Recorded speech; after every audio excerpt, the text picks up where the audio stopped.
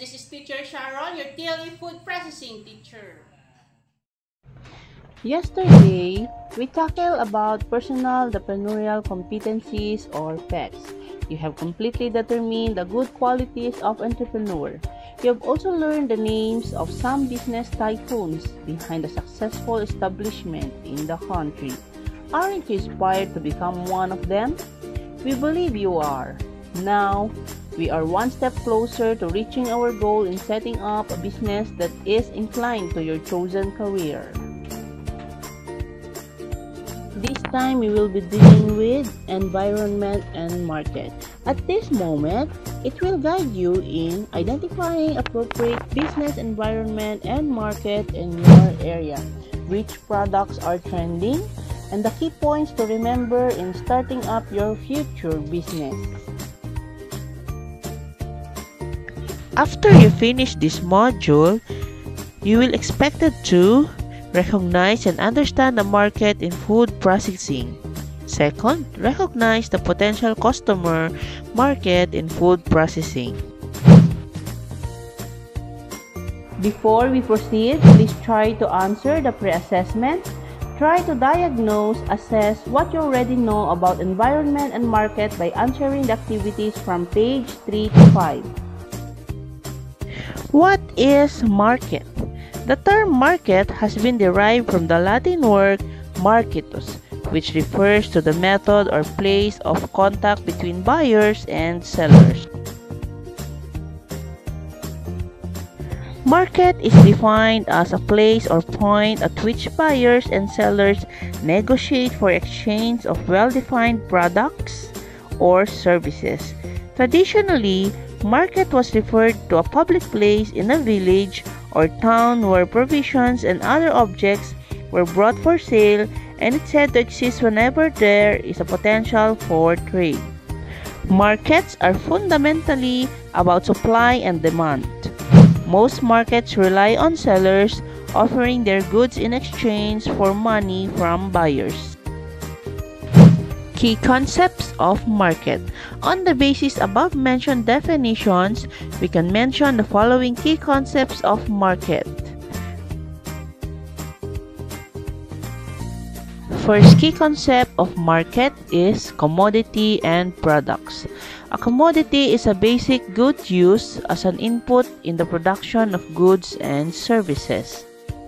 A product, on the other hand, is the finished goods sold to consumers.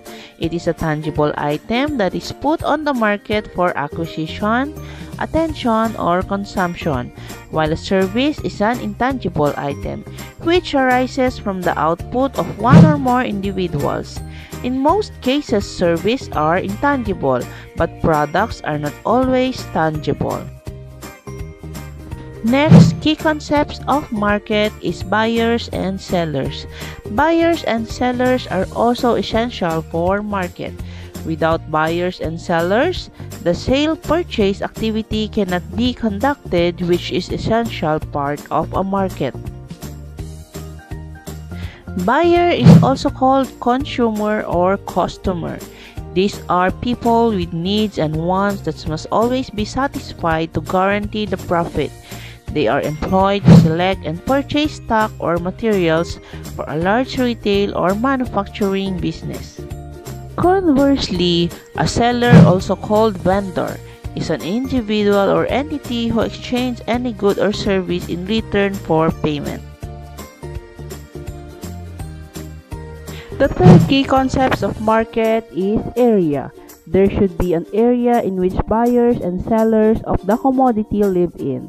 It is essential that the buyers and sellers should come to a particular place to transact the business. The fourth key concept of market is communication. There should be close contact and communication between buyers and sellers. This communication may be established by any method. The fifth key concept of market is competition. The better you know your competition, the more equipped you are to market your products or services effectively. So who your competitors? There are three types of competitors the direct competitors, indirect competitors, and replacement competitors. Direct competitor offers the same products and services aimed at the same target market and customer base.